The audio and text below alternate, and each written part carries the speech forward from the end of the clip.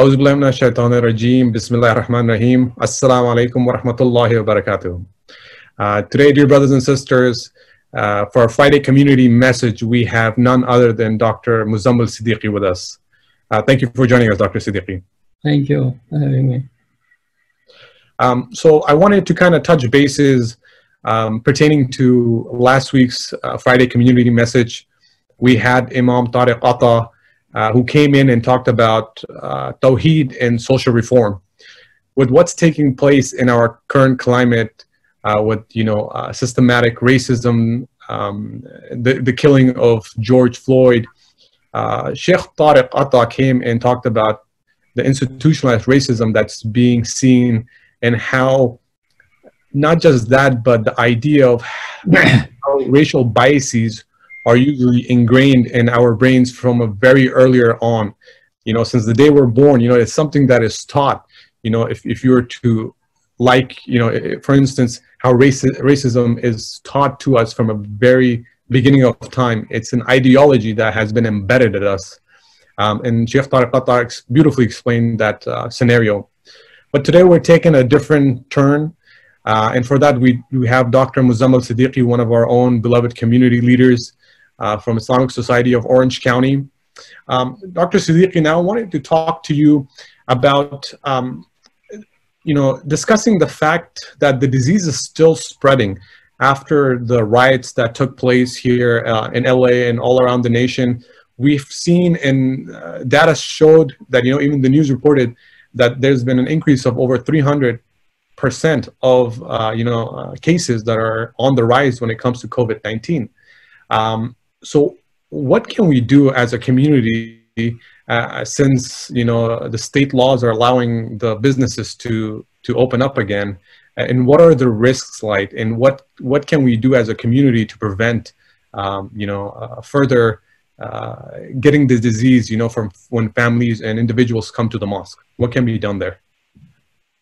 بسم الله الرحمن الرحيم الحمد لله والصلاة والسلام على رسول الله وعلى آله وصحبه ومن والاه Thank you very much, uh, Brother Wali, for inviting me for uh, this uh, program. I um, give my greetings to the whole community. I pray to Allah subhanahu wa ta'ala to bless our community, uh, to keep us on the right path and, and save us and protect us, protect our families, our children, and uh, protect humanity, all people, because we should be concerned of all people, regardless of their races or colors or nationalities, because we are all uh, one human being, children of Adam and Eve. And in this time, it is very important to remind us about that, because of the so many uh, divisions and differences have occurred, and people have become uh, you know, we're not caring for others. So it is important to care for each other. And we, especially Muslims, Muslim Ummah, our responsibility is that we should treat everyone, those who are of Islamic faith, as brotherhood. Innamal mu'minuna ikhwa. Believers are brothers and sisters to each other. And this is uh, this brotherhood and sisterhood is beyond uh, colors or races or nationalities it is the it is the brotherhood of faith. Of course, there is a brotherhood of humanity that all human beings are brothers and sisters, as our Prophet peace be upon him used to say in some of his uh, du'as, some of his prayers. He used to say, "Allahumma inni ashhadu anna al-ibada kulluhum ikhwa." Oh Allah, I bear witness that all human beings are brothers to each other. So all human beings are brothers to each other, but there is a special brotherhood, and that is the brotherhood of faith. And brotherhood faith is something that we have to work on. Especially, we have a very large uh, Afro-American community who are Muslims. Uh, actually, this is the largest ethnic group that are Muslims in America. Um, almost one third of the total Muslim population are Afro-American. So you can see, as, as an ethnic group, this is the largest one. And it is very important that uh, immigrant community, people of other races and other colors, uh, and Afro-American brothers and sisters, we all should work together. We all should cooperate with each other and more and more relationship we should develop. We should visit each other's mosque we should invite people of uh, that community to our homes, to our families, and meet with them and uh, cooperate, and also see what are their needs, help them in our in their needs, and they help us in our needs. So in this way, we have a mutuality relationship. So this is a, a very important point that we should remember. But at the same time, as we are going through in the last four months with this COVID-19, and uh, we are thankful to Allah subhanahu wa ta'ala that our masajid that were closed for uh, more than three months, uh, now uh, the rules have been relaxed and people are allowed to have their places of gatherings, places of worship, and our masajid are also slowly opening up. So people are coming back to the masajid, which is a wonderful thing to, to happen. Uh, but at the same time, uh, it is a test for us. As it was a test when the masajid were closed, that we be patient and continue our ibadah, our worship at homes. But now it is also a test because COVID-19 is here. It has not gone away. And actually in some areas it is spiking up. Its danger is, its risk has increased. And uh, especially here in Orange County, in California, a lot more people are going to the hospital and, and suffering from that. So um, we have to be very careful. We have to be very cautious. Don't take this lightly. And there are masajid that have opened, but at the same time, masajid have put rules and guidelines. And these guidelines should be strictly followed. Uh, people are asked to make their wudu at home, bring their musalla with them, uh, check their temperature. If it is more than 100, should not come to the masjid. And even at the masjid, the, temp the temperature is checked and uh, they should wash their hands uh, often. Also have hand sanitizers in their pockets keep that. Uh, and then um, they uh, have to have re remember the social distancing. Social distancing and masks and hand sanitization these are very very important things that people should keep in their mind and also, anytime and if you feel that you are not well, uh, you are not uh, feeling well, you're feeling sick or ill, uh, it's better to stay home and pray because it is not obligatory for you in that situation to come to the masjid. And we have said already, in the Council of North America, that under the circumstances, it is not obligatory for Muslims to come for every prayer to the masjid or for Juma prayer to the masjid because still we have in an emergency situation, we have difficult situation. So those masajid that were able to open, Alhamdulillah, they're open and people are coming there. Those masajid, because of their uh, lack of funds or lack of uh, enough uh, uh personnel uh, or some other reasons, they are not able to open. The communities should pray home. And inshallah, they will receive their reward and blessings from Allah subhanahu wa ta'ala. But follow the instructions, follow the guidelines uh, very carefully, strictly, because we all have to be cautious. We all have to be careful. This is a test of our, our patience. It is a test of our faith.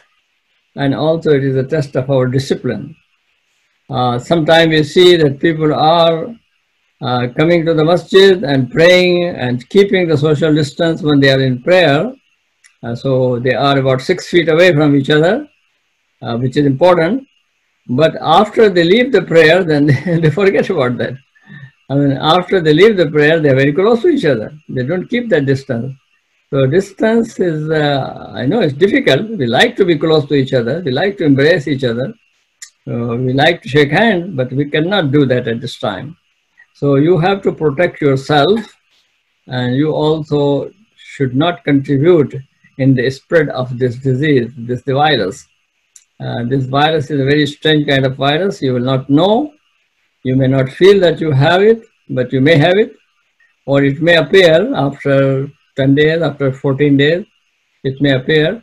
So for all these reasons that everybody, mashallah, now is learning about that. Every day we are talking about that. So keep these things in mind because we keep forgetting and we have to be reminded again and again. Uh, and we, some people uh, started taking it lightly as if there is nothing. They think that, oh, don't worry about that. No, we should worry about that because it's happening. A lot of people are suffering. So it is important to be careful on, on this issue uh, Alhamdulillah, thank Allah subhanahu wa ta'ala that we are able to come to the masjid because few months ago we did not know how long will it take. Some of us were talking about it may take one year, it may take more than that. So it is Alhamdulillah within four months we are there.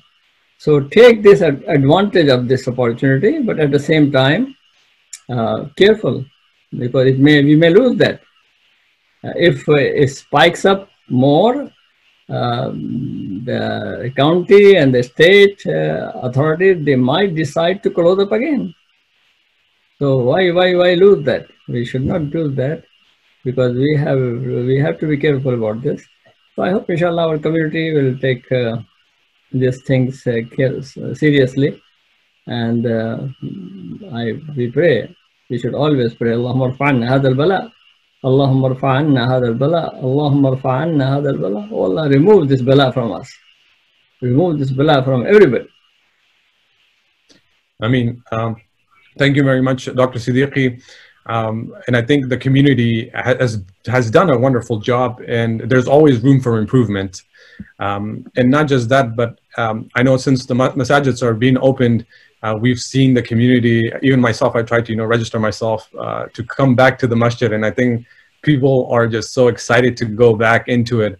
And that's why they can really stay away from, for instance, you know, uh, our, our, beloved community leaders like yourself and other friends and family members because everybody's been in quarantine. So it becomes difficult. So when we do see someone from the community, we love to, you know, uh, get closer. We, we love to give hugs. Um, but I think the message that you give very beautifully is that if we want a long-term uh, sustainable system and plan for us to keep our masajids uh, running and functioning, we must abide by the rules and laws that are regulating our institutions. Um, thank you. Um, and for those that do not know, I don't know you, about yourself, Dr. Siddiqi, but I've actually, I don't know if I should say I've had the pleasure to get a COVID-19 testing. So what they did was I was coughing uh, about two weeks ago. I had a really bad cough, um, and it wasn't stopping. And then I had chest uh, sneezing, and um, I had a runny nose. So they took, you know, I went to the ER. I was like, you know what, this might be symptoms are kind of COVID nineteen, but uh, it's good to go. So I went, uh, alhamdulillah, you know, um, which is very painful. The COVID nineteen testing could be painful. Uh, for those that do have it, you know, they'll, they'll grab a straw, a long stick that's like a straw, and they'll, they'll plug it in your nose all the way, mm. um, and and uh, it, it, can become a, it can be uncomfortable, but you know, it's good to do. Um, you know, I realized that I didn't have the COVID nineteen. Alhamdulillah, it was negative. That I had seasonal flu, and that what it, that's what it was.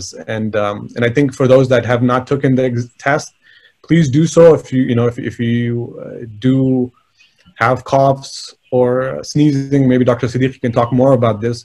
But I also wanted to kind of re, uh, kind of turn the question around, Dr. Siddiqi, since we're still in, the, in, the, uh, in this topic of COVID-19, I wanted to bring the issue of funerals. Um, if you can put some emphasis on this based on your advice and, you know, what cautious or caution can we take regarding funeral gatherings and, and the number of people that, that, that should be there.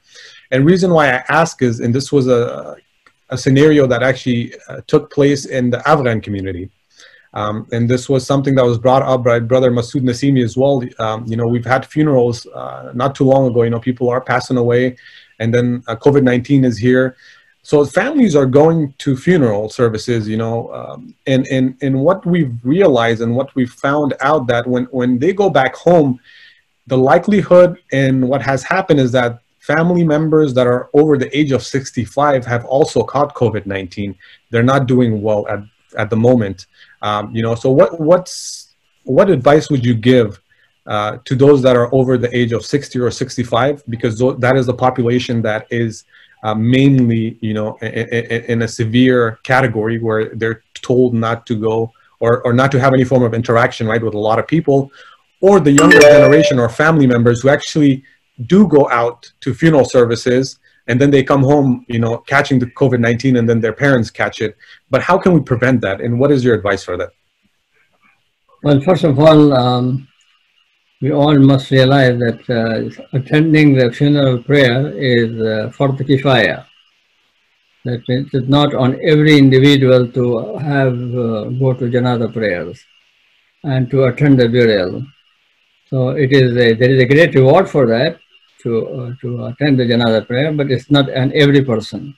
If some people do it, they have done it in, in uh, on behalf of everyone, and they are. Um, if a person dies uh, without uh, COVID-19, I mean normal deaths or because of some other disease, so it's not because because of the coronavirus, then uh, of course the treatment will be different.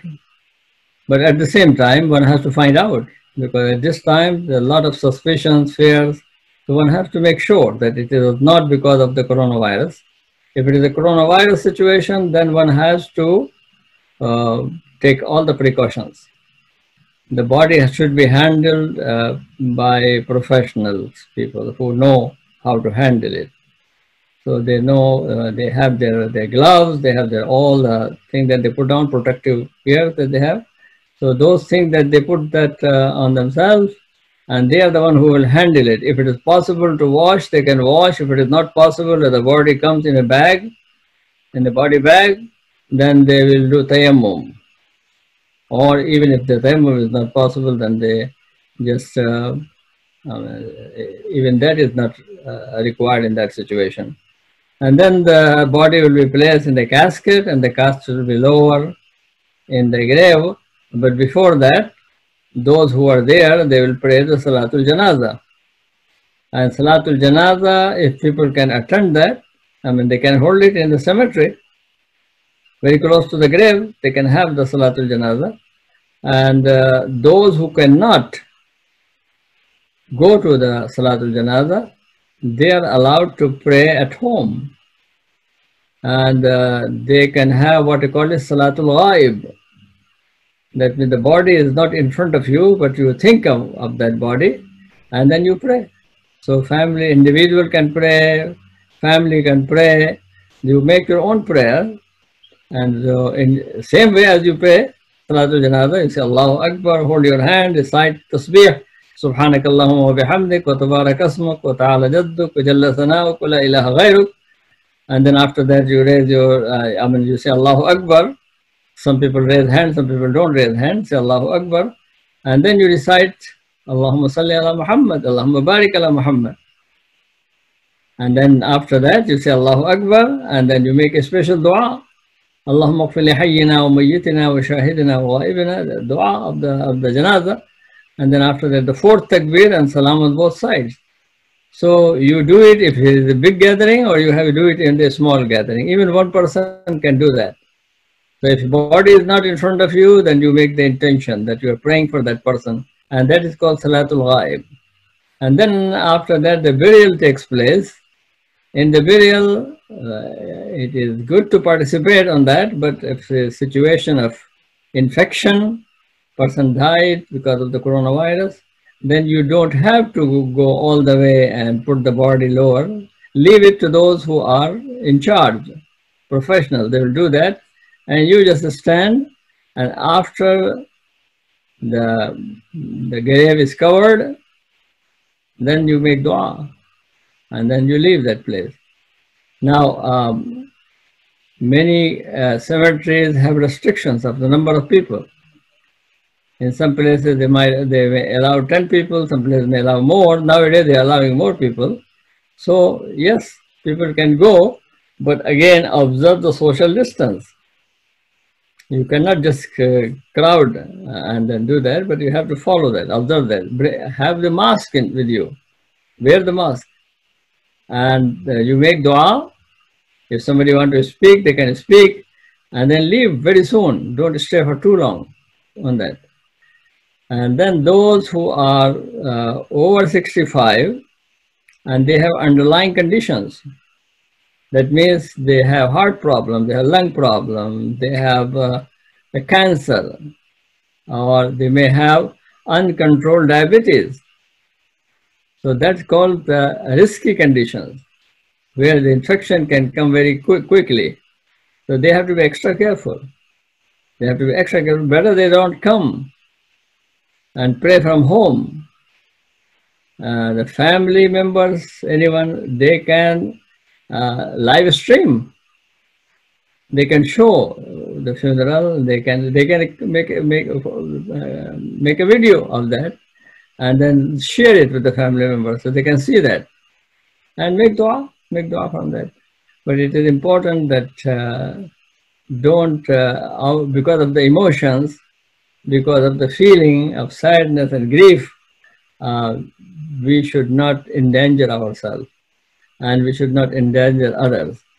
So the, as it is important to, to participate in the funeral, it is more important to protect your life, protect your health, and do not spread the disease the others.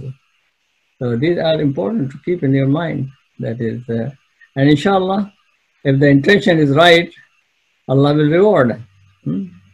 So sometimes we take action, sometimes we are not able to take action, but we have the right intention, then the reward will come from that, inshallah.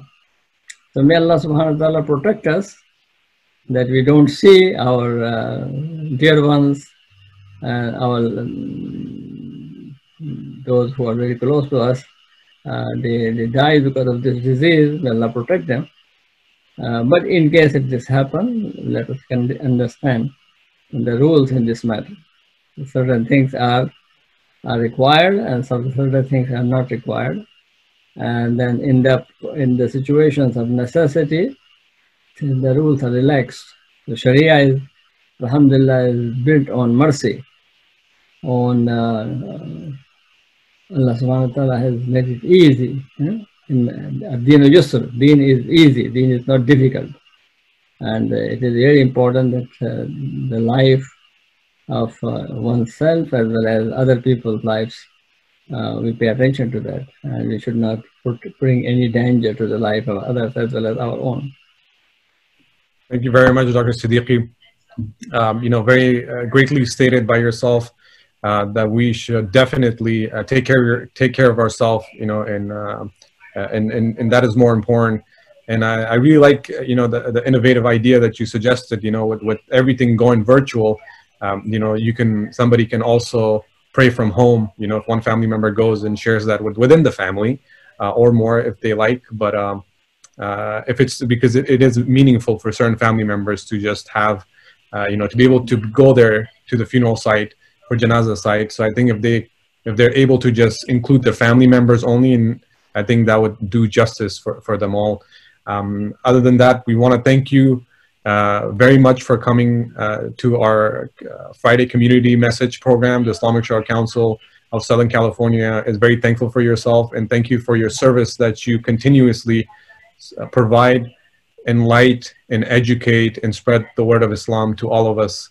Um, thank you so much, Dr. Siddiqi. May Allah bless, inshallah.